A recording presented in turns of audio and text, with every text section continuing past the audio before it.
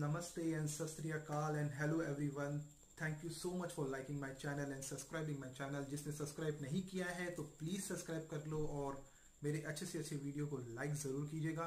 सो so guys मैं आज आपके सामने वो वीडियो अपलोड कर रहा हूँ जो मैंने इससे पहले किया था अपलोड तो कुछ टेक्निकली इशू की वजह से वो नहीं मैं डाल पाया था। तो मैं इस वीडियो को दोबारा डाल रहा हूँ। आई मीन वो वीडियो आ चुका था, मगर कुछ प्रॉब्लम्स आया था। आई डोंट नो मुझे उस वीडियो को निकालना पड़ा। तो अभी मैं वीडियो को दोबारा डाल रहा हूँ। बहुत ही शानदार डिश बनाया था मैंने। वो था वाइट ग्रेवी में शाही चिकन सो बहुत ही टेस्टी था। मैंने तो खाया उसके बहुत मज़े से साथ। और आप भी अपने घर में बना सकते हैं, उसे टेस्ट कर सकते हैं, अपने फैमिली को खिला सकते हैं। बहुत ईजी है और बहुत अच्छे तरीके से बनाया हुआ है। सो so गाइज़ इस वीडियो को प्लीज़ ज़रूर लाइक कीजिएगा, क्योंकि इससे पहले भी वो वीडियो वीडियो जब मैंने अपलोड किया था तो लोगों ने लाइक किया था। तो प्लीज़ ज़रूर दोबारा लाइक कर दीजिए और जिसने लाइक नहीं किया है तो प्लीज़ वीडियो को लाइक कर दीजिएगा और ज़्यादा से ज़्यादा सब्सक्राइबर तो चाहिए ही मुझे तो प्लीज़ सब्सक्राइब कीजिए और वीडियो को देखिए और मज़े लीजिए लॉकडाउन में। थैंक यू सो मच और मैं आपको दिखाऊँगा इसके अंदर क्या क्या इंग्रेडिएंट्स लगता है। शाही चिकन वाइट ग्रेवी के साथ बनाने के लिए मुगलाई तो ये है प्याज जिसको हमने बारीक बारीक काट लिया है और साथ में है मिर्ची, जिसको बीच में से मैंने लाइन दे दिया हूँ, जो अंदर जाने के बाद अलग सा तीखा सा टेस्ट देगा वाइट ग्रेवी में। और साथ ही आपको कर्ड रखना है 100 ग्राम और सॉल्ट होगा सॉल्ट भी रख दिया है। और साथ ही साथ मैंने काजू और बादाम और मिल्क के साथ मैंने इसका एक पेस्ट बना लिया मिक्सर में ग्राइंड करके। ये है अदरक लहसन का पेस्ट और हमारा जो चिकन रेडी है ये। और अंदर जो जाके इंग्रेडिएंट्स लगेगा, उसके लिए मैंने लिख दिया है चार से पाँच सफ़ेद इलायची। और ये है काली इलायची यह है जावित्री, लौंग, ज़ीरा यह है ज़ीरा पाउडर, और ये है तेज पत्ता। और ये है स्टार जिसको मैंने छोटे छोटे पीसेस में कर दिया है। और ये है कसूरी मेथी, एक स्वाद अनुसार आप उसमें डालिए तो एक अलग टेस्ट देगा। और थोड़ा मैंने ले लिया है मक्खन। तो गाइस रेडी रहिए। जब मैं बनाऊँगा तो आपको दोबारा बताऊँगा उसमें क्या क्या डाल रहा हूँ मैं और किस तरीके से ये पकेगा। थैंक यू सो सबसे पहले हम लोग डालेंगे इसके अंदर लौंग।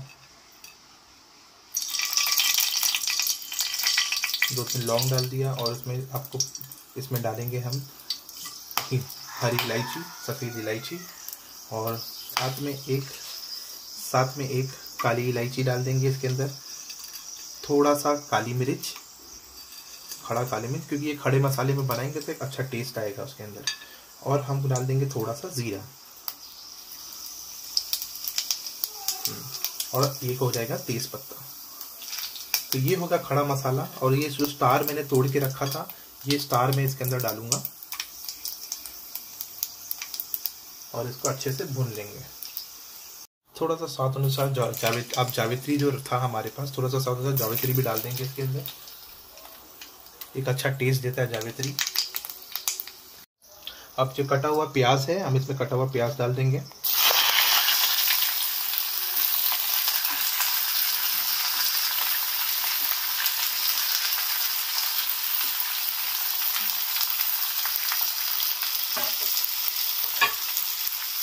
ध्यान रखिएगा कि जो प्याज है, वो एकदम से ब्राउन ना हो जाए।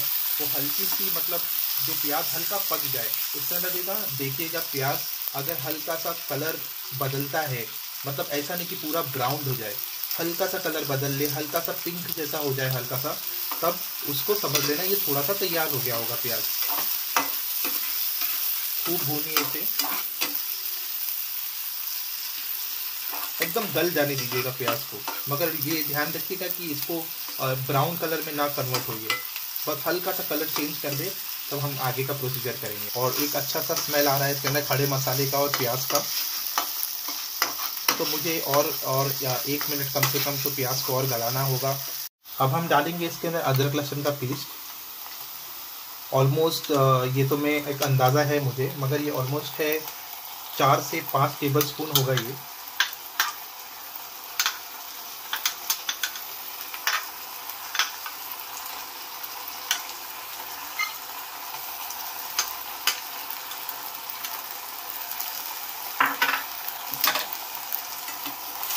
तो उसको अच्छे से अदरक लहसुन का पेस्ट और प्याज को अच्छे से भून लीजिएगा।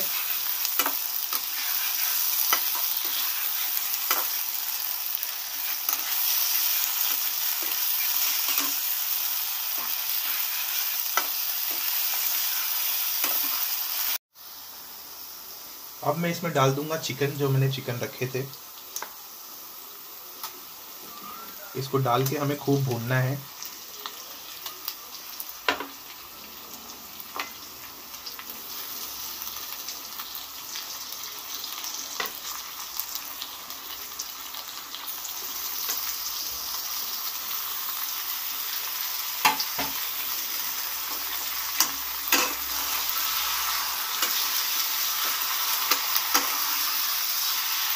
फ्लेम को थोड़ा हाई कर लेते हैं हम लोग।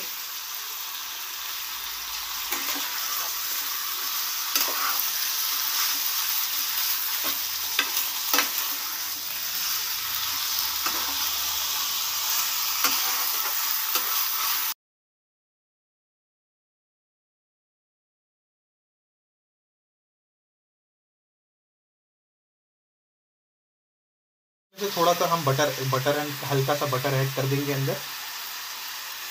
बटर हमको बाद में दोबारा लगेगा। क्योंकि हमने घी का इस्तेमाल इसमें बिल्कुल नहीं किया है। इसके अंदर हमने बटर का इस्तेमाल किया है, अमूल बटर का।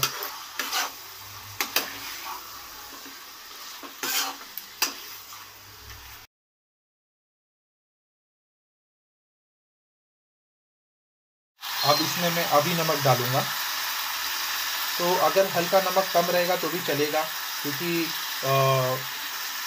ऐसा होता है ना कि किसी किसी को नमक ज़्यादा पसंद नहीं आता, ज़्यादा सॉल्टी हो गया तो फिर एक अलग मुसीबत हो जाती है।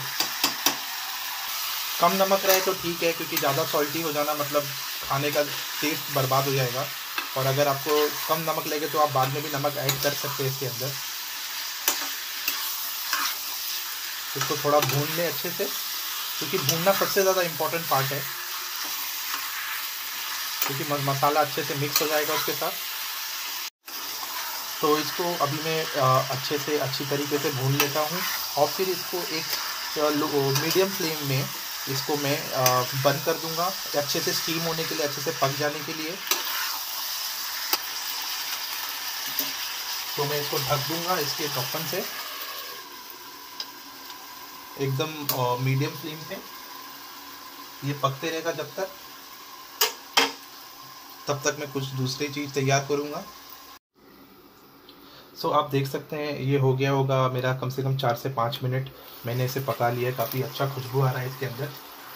तो मैं अभी इसको एकदम लो फ्लेम पे रखूँगा और इसके अंदर मैं ऐड करूँगा दही। तो इसके अंदर मुझे दही ऐड करना है मगर ध्यान से रख ध्यान दीजिएगा दही में सबसे मेन इंपॉर्टेंट चीज़ ये है कि आप पहले दही को फेंट लें अच्छे से, क्योंकि अगर आप दही को अच्छे से नहीं फेंटते हैं वैसे ही डालते तो दही फट सकती है और आपका जो ग्रेवी होगा, वो ग्रेवी फट जाएगा मतलब वो बिल्कुल अच्छा नहीं लगेगा। इसके लिए मैंने इससे पहले फेंट लिया है अच्छे से। इसको फेंटने के बाद जो फ्लेम है होगा आपका, जो भी गैस का फ्लेम होगा, उसको एकदम कम कर दीजिएगा। कम करने के इसलिए बोल रहा हूँ कि कम अगर आप कर देंगे कि कोई कोई तो फ्लेम ऑफ़ ही कर देता है। मैंने इसको कम किया है और धीरे धीरे से मैं इसके अंदर दही डालूँगा, क्योंकि दही फटे ना उस चीज़ का बिल्कुल ध्यान रखिएगा।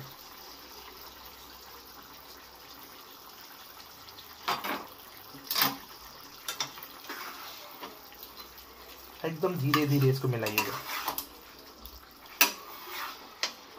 तो देखिए, अगर आपका ये एकदम ही दही फट जाता है तो वो एकदम बिल्कुल पानी जैसा हो जाएगा। मगर मैंने इसके लिए एकदम ही ज़्यादा गौर किया है कि दही फटे ना।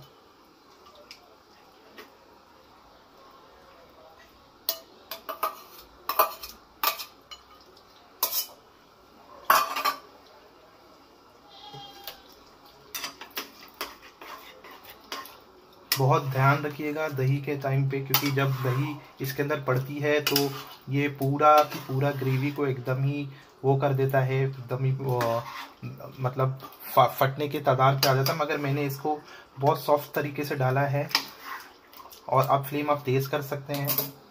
से इसकी खुशबू जो इतनी प्यारी आ रही है। अभी मैंने इसको हाई फ्लेम पे कर दिया है। इसको थोड़ा पकने दीजिए। और साथ ही साथ मैं इसमें डालूँगा थोड़ी सी कसूरी मेथी। स्वाद के लिए। पक के थोड़ा गाढ़ा हो जाए तो और टेस्ट देगा।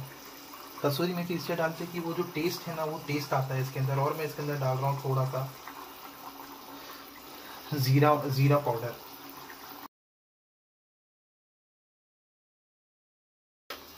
तो अब हम इसके हाई फ्लेम पे थोड़ा पकने देते हैं इसे।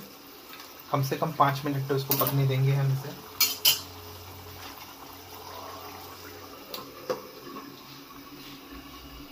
सो गाइज़ ऑलमोस्ट मैंने इसको 10 10 से 10 मिनट कम से कम मैंने इसको लो फ्लेम पे रखा था। और अभी मैं इसको देख सकते हैं, बहुत अच्छा स्वाद आ रहा है, बहुत अच्छा सी, बहुत अच्छी सी खुशबू आ रही है। तो ये ऑलमोस्ट थोड़ा ठीक हो चुका है। जो मैंने अभी थोड़ी देर पहले इसके अंदर मैंने काजू, बादाम और दूध का, दूध में मिला के इसका पेस्ट बनाया था, वो उसमें मैं ऐड करूँगा। तो एक अलग ही स्वाद देगा वो। बिकॉज़ दूध जब इसमें आप डालते हो तो एक बात ज़रूर ध्यान रखिएगा कि दूध जाने के साथ जो इसके अंदर जो चिकन का जो सॉफ्टनेस है ना, वो बहुत अच्छे से हो जाता है। तो ये मैंने जो बनाया था, काजू, बादाम और दूध का, वो मैं इसमें ऐड कर रहा हूँ।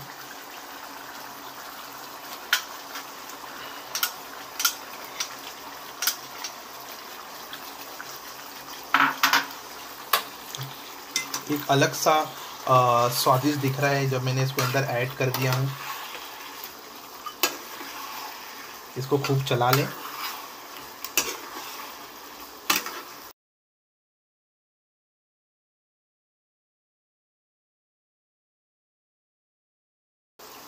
देखिए थोड़ा थोड़ा एकदम थिक होने लगा है और काफ़ी टेस्टी दिख रहा है ये। इसको दो मिनट के लिए और भूनिएगा। इसकी जो खुशबू है, माशाल्लाह बहुत अच्छी खुशबू आ रही है।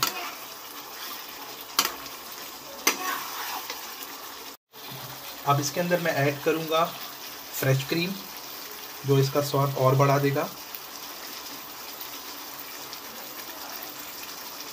कम से कम 50 ग्राम तो कम से कम तो डालना ही है इसके अंदर फ्रेश क्रीम जो काफ़ी इसको टेस्ट देगा।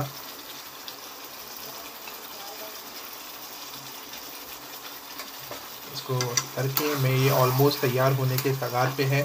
अगर इसको फिर भून लीजिए फ्रेश क्रीम डाल के। देखिए कितना अच्छा टेस्ट दिख रहा है, ये टेस्टी दिख रहा है।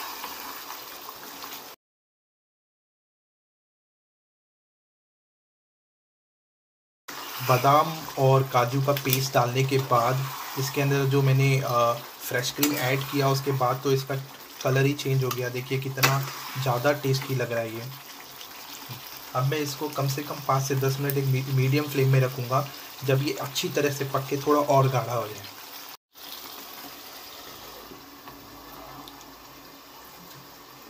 सो ऑलमोस्ट गाइस ये दस मिनट हो चुके हैं और वाह इसका स्मेल तो एकदम ही औसम है। बहुत प्यारी खुशबू आ रही है। आप देख सकते हो कितना थिक और कितना प्यारा बना है ये। तो मैं इसमें अभी थोड़ा सा बटर ऐड करना चाहता हूँ। अगर आप चाहें तो बटर ना ऐड करें, मुझे बटर ऐड करना है क्योंकि थोड़ा सा हल्का सा ऑयली मतलब ज़्यादा तो ऑयली नहीं होगा। अगर हल्का सा और ऑयली रहेगा तो बहुत अच्छा लगेगा।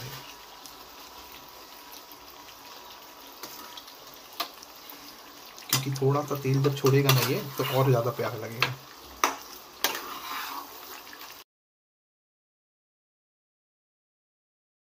वाह तो इसका देख के ही दिल देख के ही लालच आ रही है राइट तो देखिए एकदम ही शाही है और कितना ज़्यादा टेस्टी है।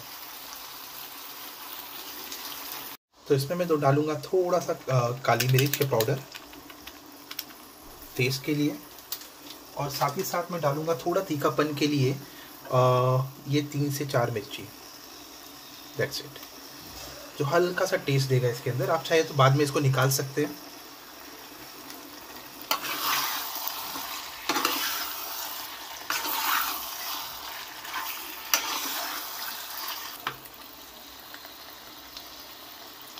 देखिए किस तरीके से तेल इसके जो भी हल्के से ऑयल थे ऊपर आ गए, मगर ये बिल्कुल ज़्यादा ऑयली बिल्कुल आपको नहीं लगेगा।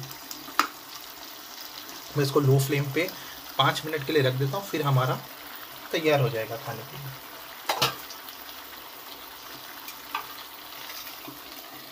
इसको मैंने ढक दिया फॉर फाइव मिनट्स तो गाइस ऑलमोस्ट दस मिनट हो गया है, मैंने इसको लो फ्लेम पे रखा था, ये ऑलमोस्ट तैयार हो गया होगा, आप देखिए। अब ये सर्व करने के लिए बिल्कुल तैयार है, खाने के लिए बिल्कुल तैयार है। तो सो ये हमारा रेडी हो चुका है shahi Mughlai chicken with white gravy और मेरे भाई के मुँह में आ रहा है पानी, क्योंकि वो कैमरा पकड़ के जब से खड़ा है, वो खुशबू ले लेके परेशान है। सो सबर कीजिए, बस दो मिनट की और देरी है। तो देखिए, एकदम ही बेहतरीन तरीके से तैयार हो चुका है। इसमें हमने मिर्ची भी ऐड कर दिया था ब्लैक पेपर भी ऐड कर दिया था बाद में। तो और ज़्यादा टेस्ट आ गया है इसके अंदर। हल्का सा तीखापन बहुत ज़रूरी है क्योंकि ये काफ़ी अगर आपको मीठा पसंद है थोड़ा तो उसके अंदर बिल्कुल ऐड मत कीजिएगा इसके अंदर हरी मिर्ची। और अगर आपको थोड़ा तीखा पसंद है क्योंकि हमारे घर में तीखा खाते हैं इसके लिए हमने इसके अंदर ग्रीन चिली ऐड कर दिया है। So thank you for watching guys और अब मिलेंगे हम सीधा डाइनिंग टेबल पे खाते हुए खाना सर्व करते हुए फैमिली के साथ। थैंक यू सो गाइज़ आप देख सकते हो ये मेरा uh, Mughlai chicken white gravy shahi, एकदम तैयार है, खाने के लिए सर्व कर सकते हो। मैंने इसके ऊपर गार्निश करके डाला हुआ है टमाटो और कैरेट्स तो आप देखिए, एकदम ही नज़दीक से कितना प्यारा सा इसका कलर है और कितना खूबसूरत सा लग रहा है ये। और खाने में भी हो, बहुत ज़्यादा टेस्टी होगा क्योंकि इसका स्मेल काफ़ी अच्छा था और मैंने इसका टेस्ट भी लिया हुआ है। तो बहुत ज़्यादा शानदार है, बहुत ज़्यादा टेस्टी है। तो गाइज़ ऐसी ही न्यू न्यू वीडियोज़ मैं आपको डालते रहूँगा आपके लिए और न्यू अच्छे डिशेस या कहीं पर ट्रैवल करूँगा तो आपको ज़रूर बताऊँगा। Thank you for watching my channel guys thank you so much and love you all and please like and subscribe my channel